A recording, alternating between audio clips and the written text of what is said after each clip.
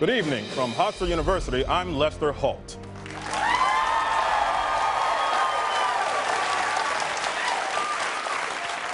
And welcome to the first presidential debate.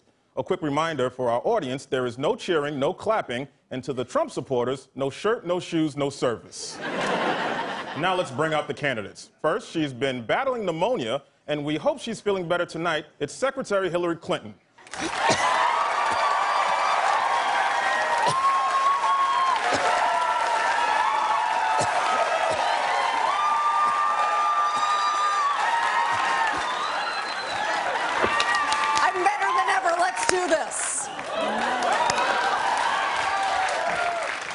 Finally, he's the man to blame for the bottom half of all his kids' faces. It's Republican nominee Donald Trump.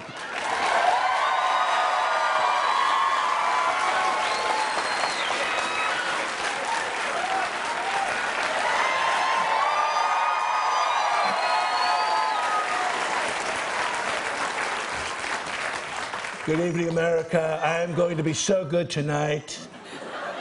I am going to be so calm and so presidential that all of you watching are going to cream your jeans.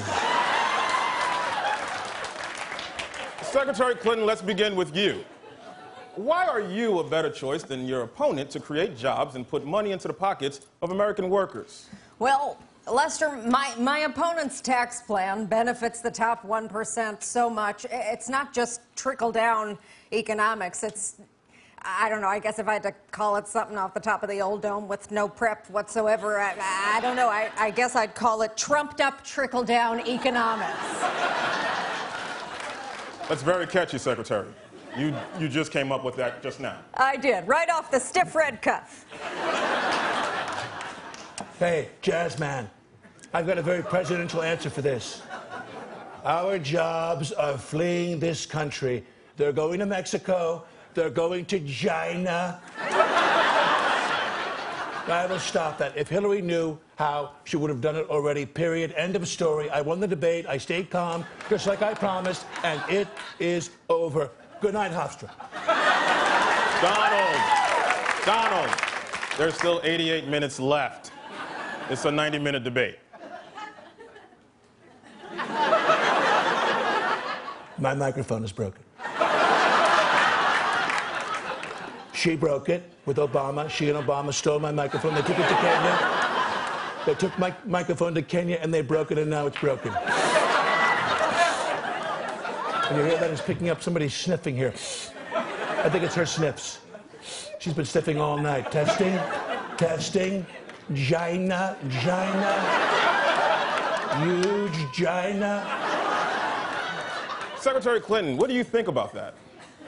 I think I'm going to be president.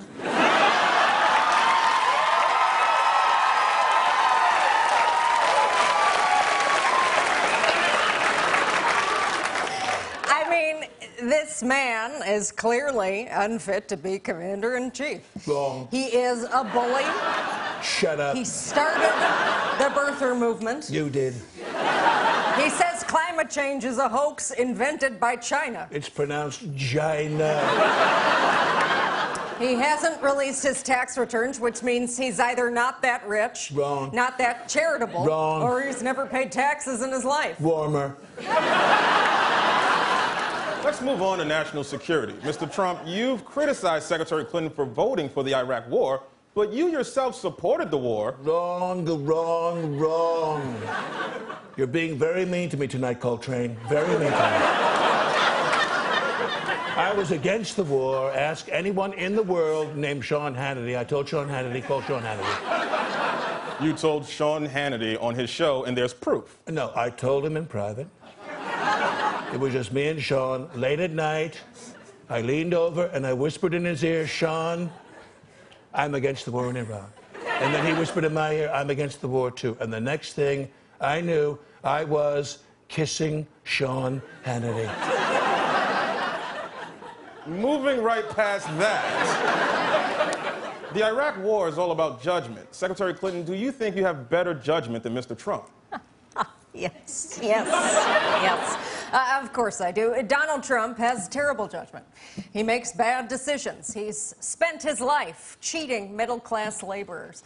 Laborers like my own human father, who made, uh, I, I, guess, drapes or uh, printed drapes or sold drapes or uh, something with drapes, and he was relatable, and I am also relatable.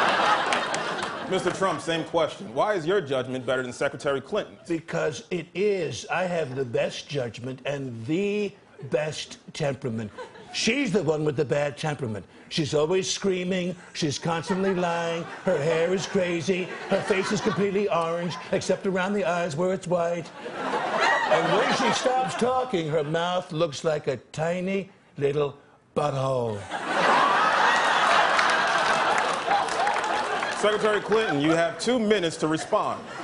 Oh, uh, that's okay. He can have my two. Okay, Mr. Trump, two more minutes. The thing about the blacks is that they're killing each other. All the blacks live on one street in Chicago, all on one street. I just read that this morning. It's called Hell Street.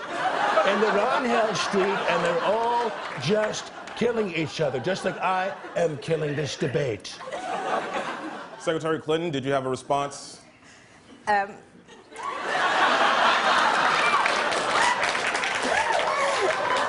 not a uh, not a response, more of a request. Can America vote right now? Well, this has been an illuminating debate, but now it's time for our final. Alicia Machado. I'm sorry, what was that? Who, who is Alicia Machado? Uh, thank you for bringing that up, Lester. Uh, she is a strong, beautiful political prop that I almost forgot to mention tonight, even though we already made a web video about her. Uh, Alicia Machado was Miss Universe in 1996. Where'd you find this? And Donald Trump called her Miss Piggy. How do you know this? And Miss Housekeeping. That's pretty funny. Mr. Trump, your response. Lester, why are we talking about this woman? We should be talking about the important issues like Rosie O'Donnell and how she's a fat loser. And everyone agrees with me, and I just wanted to bring that up in a presidential debate right at the end. My own volition, good idea, I did it. Secretary Clinton, why are you crying? I'm, I'm sorry, Lester. It's, it's, this is going so well.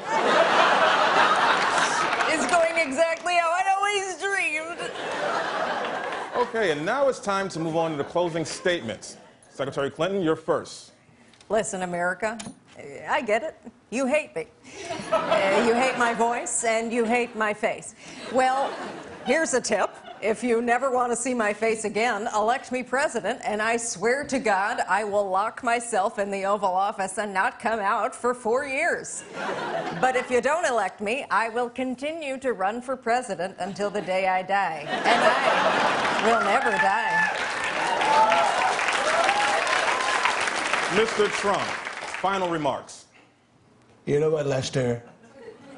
I was going to say something extremely rough to Hillary tonight, but I said to myself, I can't do it. I just can't do it. But if I had said it, it would have been a nuclear bomb. because in the 90s, our president was a man named Bill Clinton. Not many people know this, but that man is her husband. and in 1998, get this, he had an affair. It's true. My investigators are looking into it right now. It was a woman, was a woman named Monica, very heavy, I don't have her last name yet, but when I get it, I'm going to set my alarm for 3:20 a.m. and go sit on my golden toilet bowl and tweet about it until completion. Oh my God. Just, just to remind everyone at home, this was the presidential debate. Any final words? Live, Live from, from New New York, York, it's it's Saturday Saturday night.